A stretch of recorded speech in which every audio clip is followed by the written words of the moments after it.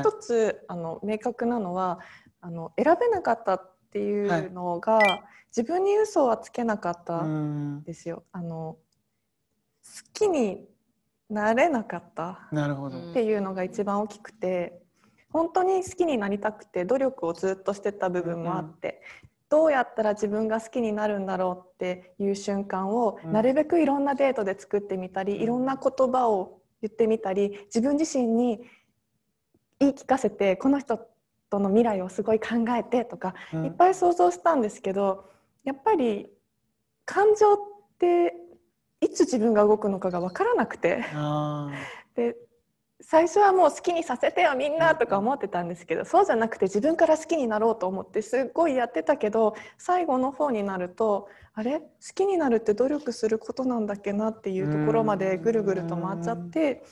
でもちろんあの人としては大好きなので愛情はあるんですけどそういう意味で自分には嘘をつけないしそんな気持ちで真剣に向かってきてくれる2人に対してじゃあなんとなくっていう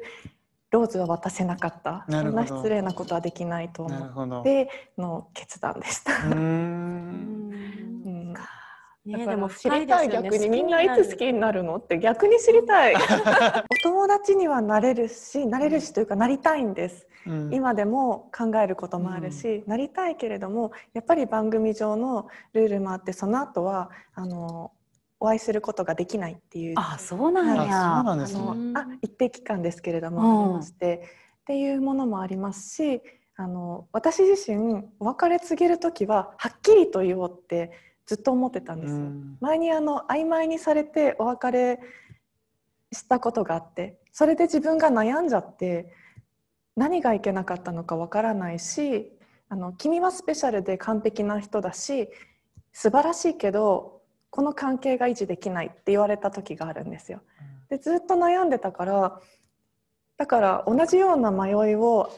与えたくなくて。それはむこちゃんが一回関係があった人にそう言われたってことだよね。だからもし曖昧にしたら、うん、その後も引きずってしまうんじゃないかなと思って。それは経験があった人との結果だけど今回はその経験がまだ未知数に広がってるから、うん、私は萌子ちゃんがいろんな人と男友達とかっていうものもいっぱいいながら自分に愛をこうずっと与えてくれる人を一回見てみるのも一つ素敵なことだよってどっかで友達として会ったら言いたくって、プライベートで会う前にこうやって言うことになっちゃって。でも選んだ萌子ちゃんの意見をもちろん尊重というかそうだし、うん、愛って自分のこのみんなに向けてる愛は何なんだろうなって思っていてこ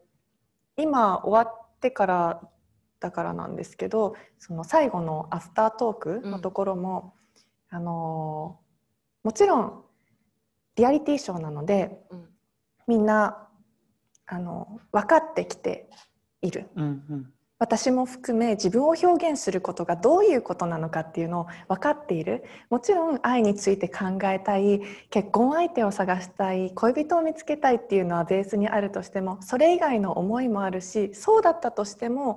後日こういうふうに皆さんが見てくれる時にいろんなコメントをいただくじゃないですか。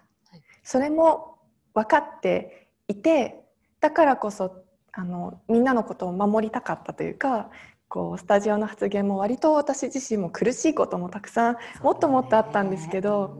もうそれ以上言わないでよっていうこう正論でねちょっと押さえつけて多分、うん、その後の人生においてあまりにもだってみんないい人たちだからその一言だけで判断されたくないんですよ。そう、ね、されなるほどだからみんなのこと愛してるしなるべくこれから先って見ちゃってて多分これは私みんなに対して母親的な愛なのかなとか。そうあね。考えについて考えてそうそうそうね。分かんなくて自分でもどの愛なんだろうってでもどの愛もないのかもですよね。うん、どの愛もあって、うん、萌子ちゃんをもっとこうわがままに少女のようにしてくれる人がいたらよかったなと思う反面、うん、きりないねこれずっとかかってもね。